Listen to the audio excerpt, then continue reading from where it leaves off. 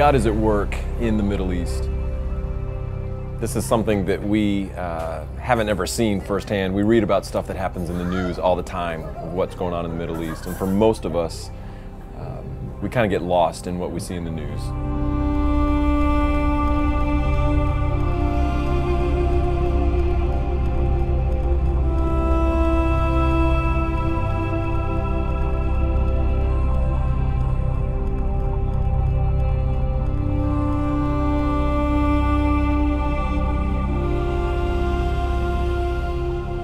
We always afraid to go to the church. As uh, Muslim people go to church, it was a big fear to us. Because if we will go to church, will be a big trouble. We left our home, we have everything. We have land, we have big house, but now we're living in very small room.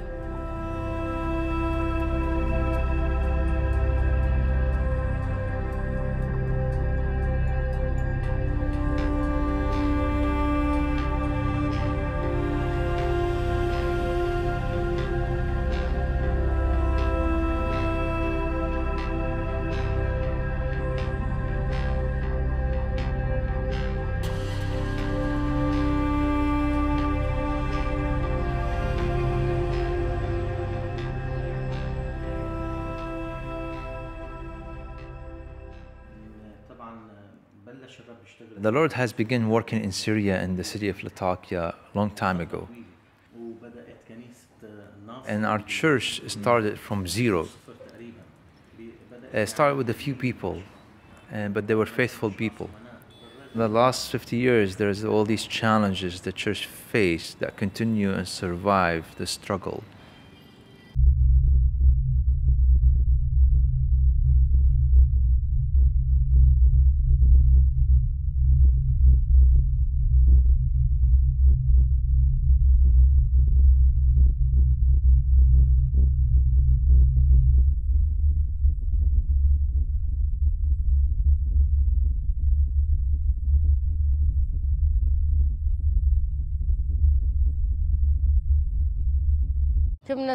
We were one of the first few batch of the people who left our city, our town, our houses. The Free Syrian Army, with under that title, people came and attacked me. They, they said, we want weapon from you and we want your men. And this time we were able to survive out of this attack from them, but next time we might not, we might lose our daughters. I came to Lebanon, but it was very difficult.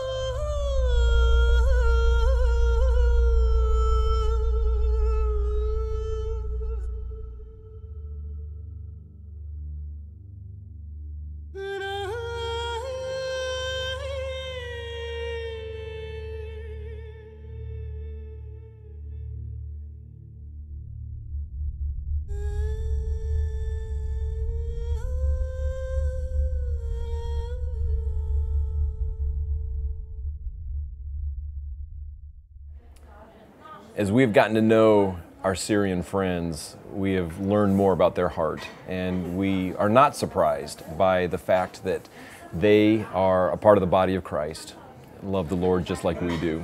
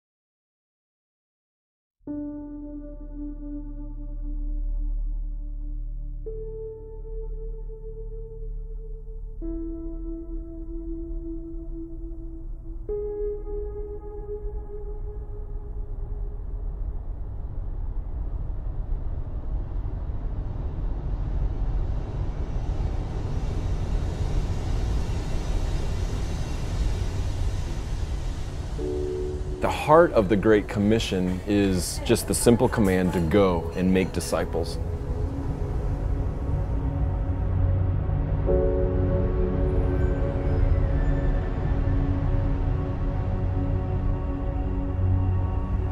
I think that sometimes we, we fail to understand at the heart of God's call to giving us salvation is that He's given that to us so that we can give it away.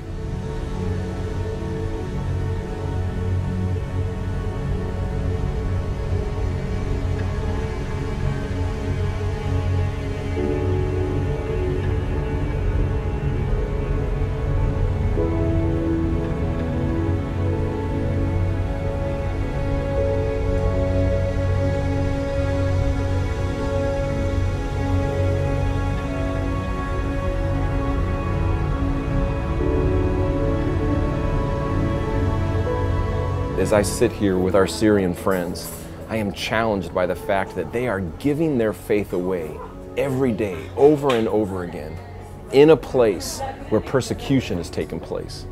And I, so much of the time, am worried about hurting someone's feelings, uh, but yet they are putting, oftentimes, their lives on the line so that their neighbors and the people that, that, that they know in their communities can come to Christ.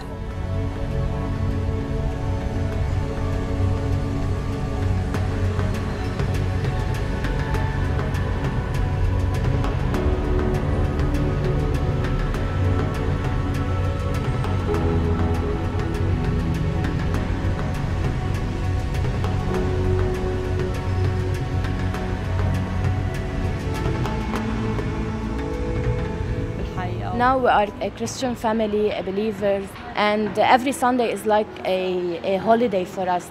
We want to go to church and praise God.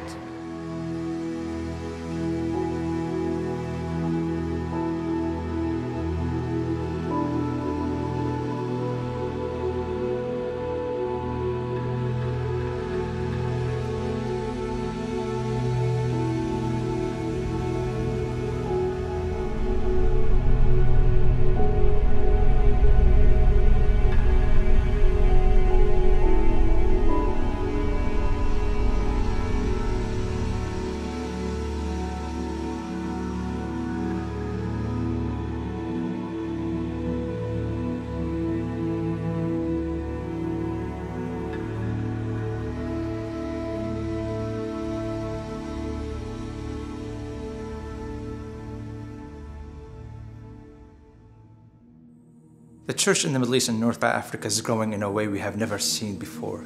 Thousands of people coming to know Jesus Christ. And Ananias house and his heart is about you, us, and the church and the body of Christ in the Middle East. And we focus on helping coming alongside the church in the Middle East and North Africa by four different area, training, equipping leaders. We come alongside of them, we train them, we equip them. They will have a strong knowledge of the Word of God. So we will have a biblical church as the church explode into different parts of the Middle East and North Africa. The second part is relief and development. We come alongside the body of Christ over there to assist them with food bags and relief bags and development, develop projects to help them to stand on their own feet so they can be self-sustainable. The third category we do is church building and rebuilding. As you know, many of the churches have been destroyed under severe attacks and we come alongside of them to rebuild their churches and also to plant new churches in different area. The fourth category is special project. We come such as Bible printing, and many people who have never seen the Bible. They've seen dreams and vision, but they're waiting and they're searching to find the Word of God and read it. And when they first get their hands on it, there are tears in their eyes as they begin to read and give their life to the Word of God. We also work with children as what we call them the lost generation. Every child up to seven years old, all they know is war and destruction inside Syria. So we come alongside of them and we train them and we help them to go to, to get education and to have their hope in Jesus Christ. So we invite you to come alongside and serve with the body of Christ in the Middle East and North Africa. There is four different areas we can serve with. Number one, we can pray. We learned that prayer can move the hands of Almighty God. We've seen it working in the body of Christ over there as they begin to pray for their persecutor. We need to pray with them and to pray for them as they, they reach out to their persecutor. You can come alongside of them and volunteer and give your time and effort and talent to serve the church in the Middle East and North Africa. And third thing, we invite you to come and help with their financial contribution to expand the kingdom of God. And finally, be a bridge builder and what we call C2C, church to church. We want to build a relationship from the church in the Middle East with the church in the West to have a strong relationship as they expand the kingdom of God together. Thank you for watching and being part of what God is doing in the church in the Middle East and North Africa.